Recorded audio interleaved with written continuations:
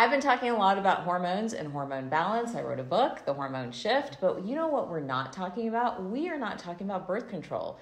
And so many women are on birth control for different reasons. If you're in your teens or your 20s, you may actually be on birth control for birth control. But there are a lot of you that are coming into our exam rooms at CentreSpring MD and you're on birth control for hormone balancing. That's not what we want. We want to make sure we're using birth control for the right reasons. Let me tell you why. Birth control comes in a couple of different forms, right? There are birth control pills, there is the IUD, there's the ring. There are all kinds of different options nowadays if you're actually wanting to use birth control. But it comes with two particular hormones, and we need to understand them because it really plays a role into why you should or maybe should not go on different forms of birth control. The hormones in most birth control pills are either estradiol, which is a biologically active form of estrogen. It is the estrogen in our bodies. But remember, we don't just have estradiol, we actually have four different estrogens. And when we over sort of supplement or provide estradiol, there is a price or a little bit of a fallout around that supplementation. So, we're going to talk about that in a minute. The second hormone in birth control, whether it's an IUD or whether it's a birth control pill, is progestin. Progestin is a synthetic form of progesterone, which is what we naturally have. So we have progesterone, we make progesterone. Progesterone is actually made both in the adrenal glands and through your ovaries, but we don't actually make progestin. So birth control, both birth control pills and IUDs contain estradiol and progestin. There are some that are just estradiol, there are also some that are just progestin, and there are some that are both. But here's the issue if you have poor gut health, or you have the gene MTHFR. I'm going to do a bunch of alphabet soup in just a second, so bear with me. Hopefully, you're taking notes and you're paying attention to some of these genetic markers. But MTHFR, COMT, CYP1B1, these are genetic SNPs that really give you trouble when it comes to metabolizing estradiol and progestin. So it's important to know your overall health, right? So that's why we go back to hormone balancing and really getting into before you jump to go on a birth control pill, really getting into where's my gut health, where's my liver health, what is my genetic profile, because it's going to help you make the right decision about your birth control options.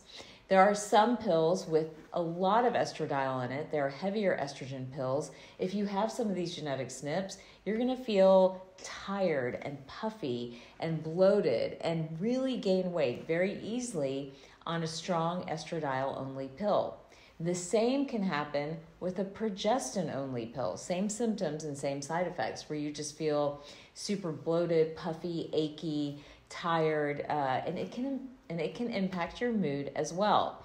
So, understanding kind of what the landscape of your body is, right? That holistic approach, like where are you and what is your hormone tolerance, can help you decide if the pill is right for you, or do you need to choose an IUD, or do you need something incredibly low dose to help you with birth control.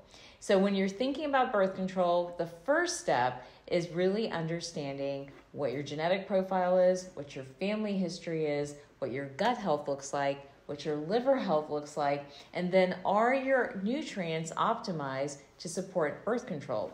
Because as you go on something like the birth control pill, we're finding that it actually depletes the body of key nutrients. And those include your B vitamins, magnesium, for example, is another one, zinc, and even some of the other minerals. So, looking at your overall hormone profile is important in this scenario as well. Now, typically, what's happening, right? You'll go into the doctor's office and there's a menu of birth control options, and your doctor will prescribe one, not really get into some of these other concepts around what you should be thinking about before you actually start birth control. I hope as you're watching this, you're kind of thinking through this algorithm. First question is Do you actually need birth control? If the answer is yes, then the next step is where's your overall health so you can decide which form of birth control is best for you.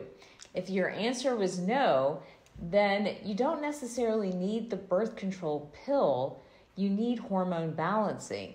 For those of you with PCOS, or you're having really heavy periods, or you're having painful periods, or you even have something like PMDD, right, where your mood just tanks right around your period or right before your period, the birth control pill should not be your first answer.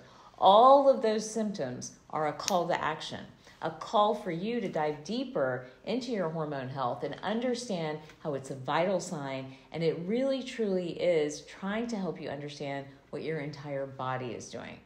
All right, so I hope that helps you in this conversation around birth control pills, birth control, what your options are, and where and what you need to be thinking about before you actually start it. Remember, I post new videos every week. Don't forget to like and subscribe.